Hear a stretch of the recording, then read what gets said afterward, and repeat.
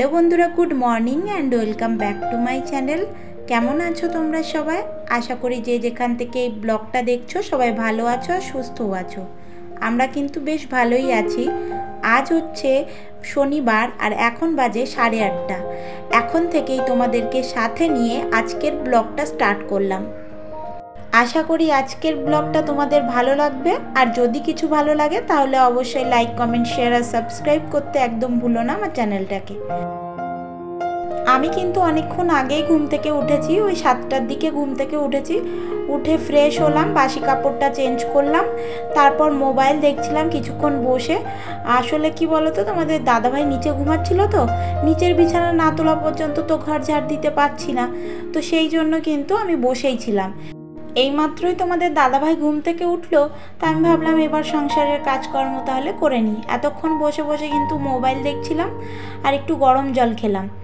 যাই হোক, সংসারের কাজকর্মে হাত লাগিয়ে দিয়েছি। মোটামুটি কাজকর্ম কিন্তু আমি তোমাদের দাদাভাই ঘুম থেকে ওঠার আগে করেওছি। শুধু ঘরটা ঝাড় দেওয়া বাকি ছিল আর নিচের বিছানাটা তোলা বাকি ছিল। সেটাই করে নিলাম। আর কিচেনটা তো আমি রাত্রেই পরিষ্কার করে রেখেছি। আজকে হচ্ছে শনিবার নিরামিষ খাব, ওই জন্য রাত্রেই একদম পরিষ্কার করে রেখেছি। আর আমি বেশিরভাগই রাত্রে কিচেন একদম পরিষ্কার করেই ঘুমাই, যাতে সকালে একটু ঝামেলা কম থাকে সেই জন্য। ও ফ্রেশ হয়ে নিয়েছে। তো ও বলল যে একটু চা বানাও, গলাটা ধরেছে, আদা দিয়ে একটু চা বানিয়ে দাও। তো সেই জন্য দুজনার জন্যই ভাবলাম একটু চা বানাই। এরপর তোমাদের দাদাভাইকে জিজ্ঞেস করলাম যে সকালে ব্রেকফাস্টে কি খাবে? তো ও বলল একটু ভারী কিছুই বানিয়ে দিও। কেননা আমি আর দুপুরে না খেয়ে যাব না।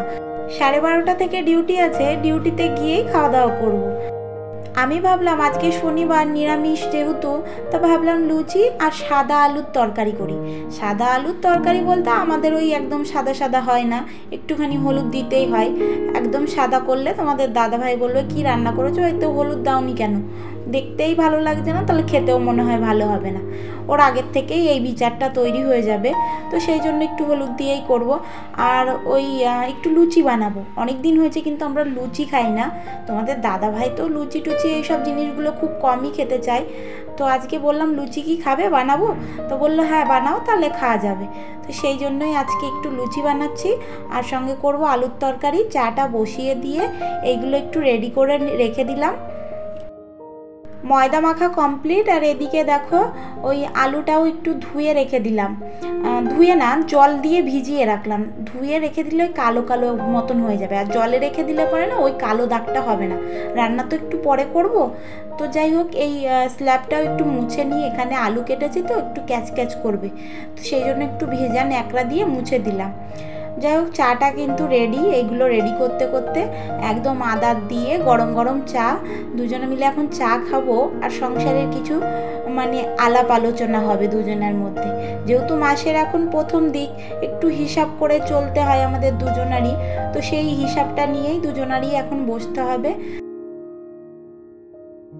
তো সঙ্গে চা আর দুজনা বসে পড়েছি, টাকা পয়সা নিয়ে দুজনাই একদম হিসাব করতে বসে পড়েছি। আজকে মানে অনেকগুলো টাকাই বেরিয়ে গেল হাতের থেকে। ওই রুম ভাড়া দিতে হবে কারেন্টের বিল দিতে হবে। তো সেই সব জিনিস নিয়েই দুজনে এখন হিসাব হচ্ছে, কোথায় কত টাকা দিতে হবে সেই সব জিনিসগুলো একটু হিসাব করে নিলাম। আর কারেন্টের বিল কত হয়েছে সেটাও একটু হিসাব করে নিলাম। আর আমাদের মতো মধ্যবিত্ত পরিবারে একটু হিসাব করে না চললে হয় না। যেহেতু বাড়ি থেকে এতটা দূরে আমরা এই কটা টাকার জন্যই পড়ে আছে তো সেই জন্য কিন্তু একটু হিসাব করে চললে না কিছু টাকা বাঁচানো যায় মাসের শেষে। আর তোমাদের দাদাভাই কি করে বলো তো? ওই মাসের মানে যা খরচা সব একবারে আমার হাতে দিয়ে দেয়। সেই হিসাব মতোই আমরা টুকি টুকি খরচা করি। এর মধ্যে থেকে কিছু বাঁচাতে পারলে তো ভালো কথা। আর যদি না বাঁচে তাহলে সেই মাসে একটু এক্সট্রা খরচা হয়ে যায়। তবু আমরা যথেষ্ট চেষ্টা করি আমি যাতে সংসারের মানে খরচা খরচাটা একদম যে মাস কবারই খরচার যে টাকাটা দেয় তার মধ্যেই হয়ে যায়, সেটাই চেষ্টা করি। কিন্তু সব মাসে তো আর সমান খরচা হয় না। কোনো কোনো মাসে না একটু বেশি খরচাও হয়ে যায়। তবে সেই মাসটা আবার পরের মাসে একটু ম্যানেজ করে চলতে হয়। একজন সুগৃহিণী হতে গেলে পরে তো এই সব দিকগুলো একটু খেয়াল রাখতেই হবে। আমার মতে বলে মানে বয়স তোমার কম হোক আর বেশি হোক, একজন সুগৃহিণী হওয়ার জন্য সব দিক থেকেই তোমার পরিপাটি হতে হবে। সংসার করতে গেলে কিন্তু এই জিনিসগুলোর অবশ্যই দরকার। তো যাই হোক, সমস্ত কিছু একদম ঠিকঠাক করে নিয়ে রুম ভাড়াটা দিয়ে আসলাম আর ইলেকট্রিক বিলটাও ওই নিচে ভাবিকে দিয়ে আসলাম। দিয়ে এসে এবার আমি ওই চায়ের বাসনগুলো একটু মেজে নিচ্ছি। আর তোমাদের দাদাভাই তো আবার ডিউটিতেও যাবে, এরপর ওই খাবারটাও বানিয়ে নেব। আর চায়ের বাসনগুলো যদি এখন ফেলে রাখি না, তারপর ওই খাবার বানাতে বানাতে আবার বাসন হবে। ওই চায়ের বাসন দিয়ে আর ওই বাসন দিয়ে এক গাদা বাসন হয়ে যাবে। তো সেই জন্য ভাবলাম এই বাসন কটা মেজে রাখি, তাহলে একটু কাজের প্রেশারটা কম হবে। তো যাই হোক, এবার চলো ওই সাদা আলুর তরকারিটা একটুখানি রেডি করে নিই। তো প্রথমেই একটা শুকনো লঙ্কার কালো জিরে ফোড়নে দিয়েছি, তারপর আলুগুলো দিয়ে দেবো। আলুটাকে লবণ আর হলুদ দিয়ে ভেজে নেব। আর আমি ভাজার সময় যে হলুদটা দেব, এই হলুদই দেওয়া। আর হলুদ দেবো না কিন্তু। আর একদম সাদা রাখব না, কেননা তোমাদের দাদা ভাইয়ের প্রবলেম আছে, সেটা আগেই বললাম। বলবে ভালো হয়নি। তো যাই হোক, সেই জন্য কিন্তু একটু হলুদ দিয়েছি। আর এই হলুদটাই কিন্তু ওই তরকারিতেও হয়ে যাবে। আর হলুদ দেওয়ার কোনো প্রয়োজন পড়বে না। তরকারিটা ওদিকে বসিয়ে দিয়ে দেখলাম আইস কিউবে একটাও আইস নেই। তাই আবার আইস কিউব বসানোর জন্য এই যে এর মধ্যে জল দিয়ে দিলাম। এবার এটাকে একটু ডিপ ফ্রিজে রেখে দেবো। আর কি বলতো, এটা প্রয়োজন পড়ে যখন তখন। আমারই এখন দরকার ছিল, কিন্তু এখন তো নেই আর হবে না, দরকার মেটাতে পারব না। আর এদিকে দেখো, এসে দেখলাম আলুটা সিদ্ধ হয়ে গেছে। এই আলুটা না খুব তাড়াতাড়ি সিদ্ধ হয়ে যায়, ওই জন্য আমি আর বেশি জল দিয়েছিলাম না। আর আলুতে একটুখানি ঝোল ঝোল রাখতেই হয়। একটু যখন ঠান্ডা হয়ে যায় না আলুর তরকারিটা, তখন কিন্তু জলটা টেনে নেয়।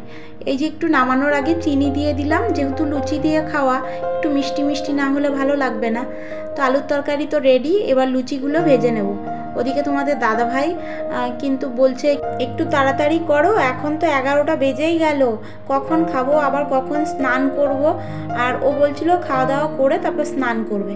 তো যাই হোক, কিছু লুচি বেলে নিই আর তারপরে ভেজে নেব, আবার কিছু বেলে নেব। এরকম করেই ভাজতে হবে, যেহেতু একা একা করতে হচ্ছে। তোমাদের দাদাভাইকে যদি বলি, একটু লুচিগুলো ভেজে দাও? বাবা, তাহলে তো হয়েই গেল। আর আমার বেলুনিটা দেখলে না একটু কালো কালো দাগ হয়ে গেছে, ওটা আমার কর্তা মশাই করেছে। এর কারণ হচ্ছে আমি যখন ইন্দোরে ছিলাম না, ও একদিন নাকি রুটি বানাতে গেছিল। একা না সঙ্গে ওর বন্ধুরাও ছিল তো ওই রুটি ভাজা বেলনিটা একটুখানি নাকি মেজেছে, বলছে ভেজা ভেজা ছিল, তাই আমি ভাবলাম ওই আগুনের ওপরে মানে গ্যাসের ওপরে ধরি, তাহলে শুকিয়ে যাবে। বলো, কাঠের জিনিস যদি গ্যাসের উপরে ধরে, সেটা শোকায়? সেটা পুড়ে ওঠে না? তো ওরকম পুড়ে গেছিল, তো ওই জন্য ওরকম পোড়া পোড়া দাগ। এমনি অসুবিধা হয় না রুটি বেলতে, কিন্তু দেখতে খারাপ লাগে এই আর কি। যাই হোক, ওই কথা বলতে বলতে কিন্তু লুচি অলরেডি অনেকগুলো ভাজাও হয়ে গেছে, আর লুচিগুলো কিন্তু বেশ ফুলছে ভালোই। আর একা একা না ওই লুচি বেলে বেলে ভাজতে ভাজতে খুব সমস্যা হয়। একদিকে বেলো, একদিকে ভাজো, এদিকে তেল গরম হয়ে যায়। আর লুচিটা একটু বেশি করেই করছি। নিচে ভাবিকেও কটা দিয়ে আসব।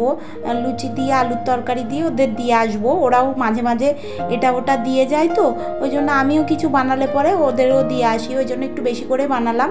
ওদেরও কটা দিয়ে আসব। আর আমরা তো মানে খাওয়ার ভীষণ মাছটা। তোমাদের দাদাভাই হয়তো তিনটে চারটে খাবে আর আমি তিনটে চারটে এরকমই।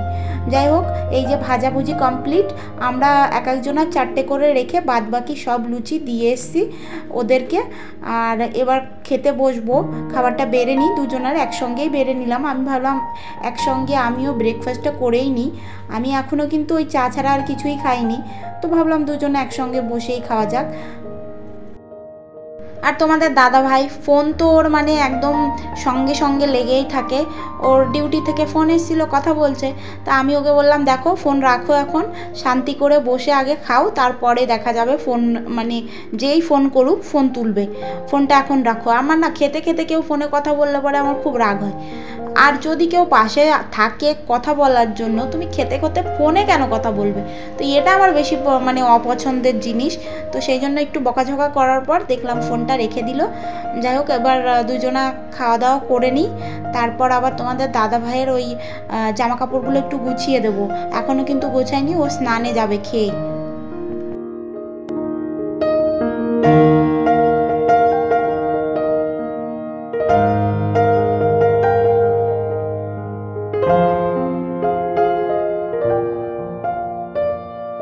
thank you দেখতেই পাচ্ছ, তোমাদের দাদা ভাইয়ের সমস্ত জামা কাপড় যাবতীয় ঘড়ি, চাবি, পার্স সব কিছু গুছিয়ে রেখে দিলাম। আর ফাইনালি ও রেডিও হয়ে গেছে, এখন ডিউটিতে যাবে। ও ডিউটিতে যাওয়ার পর তারপর আমি কিচেনে যাবতীয় যা বাসন ছিল সমস্ত কিছু মেজে ঘষে নিয়েছি, কিচেনটাও পরিষ্কার করে নিয়েছি।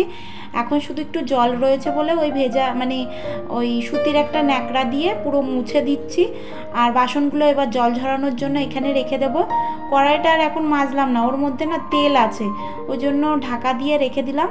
বেশি তেল নেই, অল্প একটুই তেল আছে। রাত্রে দেখি কিছু একটা বানালে পরে ওই তেলটা দিয়ে রান্না করে নেব। তাহলে আর আমার এক্সট্রা কিছুতে রাখতে হবে না। মানে তেলটাও ফুরিয়ে যাবে। যাই হোক, বাসনগুলো জল ঝরানোর জন্য এখানে রেখে দিয়ে এই বোতলটা না অনেক দিন ধরে মাজা হয় না, তা ভাবলাম মেজে নিই আজকে। আর মাঝে মাঝে কিন্তু আমি পরিষ্কার করে নিই, ভেতরটাও একটুখানি সার্ফ দিয়ে পরিষ্কার করি, আর ওপরটা একটু ভালো করে মেজে দিই, তাহলে একদম চকচকে দেখা যায়। যাই হোক, মেজে দিয়েছি, এরপর ঘরটা মুছে নেব। আর আমি না ঘর মোছার সময় এরকম খাটের নিচে যতটা আমার হাত যায়, পুরো হাত একদম দিয়ে খাটের নিচেটা মুছে নিই। কেননা খাটের নিচে ধুলো পড়ে, ঝাঁটানোর সময়ও আমি একদম ধুলোটা বের করে নিয়ে আসি। কিন্তু মুছে দেওয়ার সময় যদি একটু মুছে দিই না, তাহলে একটুখানি মনে হয় পরিষ্কার হয়ে যায়। যাই হোক, আর এদিকে দেখো, আমি পুরো ঘরটা মুছে না, জলটা একদম বাথরুমে নিয়ে যাচ্ছি। বাইরে আর আজকে মুছতে মুছতে বাইরের দিকে গেলাম না, বাথরুমের দিকেই নিয়ে আসলাম। যা মানে বাথরুমেই একবারে জলটা ফেলে দেবো।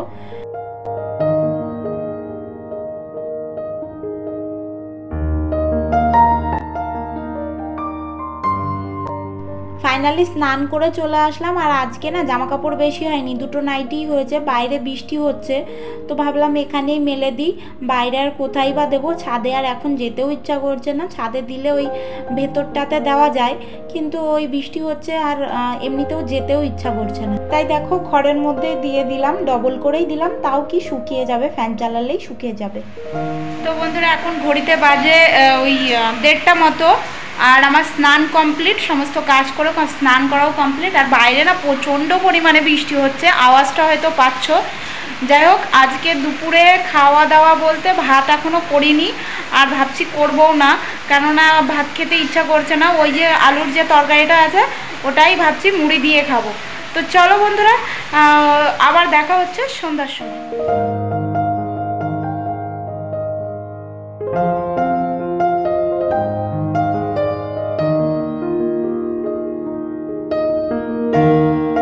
চারিদিকে মেঘ আর বৃষ্টির খেলা চলছে দেখতে বেশ কিন্তু ভালোই লাগছে। গুড ইভিনিং বন্ধুরা। এখন ঘড়িতে বাজে আটটা, আর আটটার থেকে আমি আবার ব্লগটা কন্টিনিউ করছি। তো চলো কিচেন থেকে আবার ব্লগটা শুরু করা যাক। দুপুরে তো তোমাদের বললামই, ভাত করিনি। তো রাত্রে ভাবলাম ভাত তো রান্না করতেই হবে, সবার আগে ভাতটা বসিয়ে দিই। আর চালটাকে একটু ভালো করে ধুয়ে নিই, তারপর ভাত বসিয়ে দেবো। আর ভাতের মধ্যে না, একটা ছোট্ট দেখে আলু দিয়ে দেবো, আলু সিদ্ধ। আর ভাতটা এই ছোটো হাঁড়িটাতেই বসালাম। একার জন্য রান্না তো, ওই এই হাঁড়িতেই কিন্তু মানে ভাত হয়ে যাবে। এই হাঁড়িতেই যেটুকু ভাত হবে ওটুকুতেই আমার হয়ে যাবে। আর একটু মুগ ডাল করব, তাই মুগ ডালটাও সিদ্ধ বসিয়ে দিই। অল্প একটুই করছি, বেশি করছি না, নষ্ট হবে তো। ফালতু নষ্ট করে লাভ আছে, জিনিস নষ্ট করা না আমার একদম পছন্দ না। খেতে পারব না, এক গাদা রান্না করে কি কোনো লাভ আছে নষ্ট করে? শুধুমাত্র দেখানোর জন্য এক গাদা রান্না করলাম। এটা কিন্তু করা আমার একদমই পছন্দ না। আমি শো অফ করতে বেশি পছন্দ করি না। আমার যেটুকু আছে সেটুকুই আমি সবাইকে দেখাতে বেশি পছন্দ করি। আর মেন কথা কি বলতো? বাইরে থাকতে গেলে একটু দুটো টাকার জন্যই তো আমরা বাইরে পড়ে আছি। তো বাইরে থাকতে গেলে একটু হিসাব করে চলতেই হয়। না হলে কি হয় বলতো? ওই মাসের শেষে যা আয় তাই ব্যয় এরকম টাইপের হয়ে যায়। আর কিছুই থাকে না। আর বাড়ি থেকে তো আর এক কিলোমিটার, দুই কিলোমিটার দূরে না, দু হাজার কিলোমিটার দূরে আছি, শুধু দুটো টাকার জন্য। আর সংসার করতে গেলে না একটু হিসাব করে চলতেই হয়। কেননা আমি যদি দুটো টাকা গোছাতে পারি, সেটা আমার সংসারেই থাকবে, অন্য কেউ তো আর নেবে না।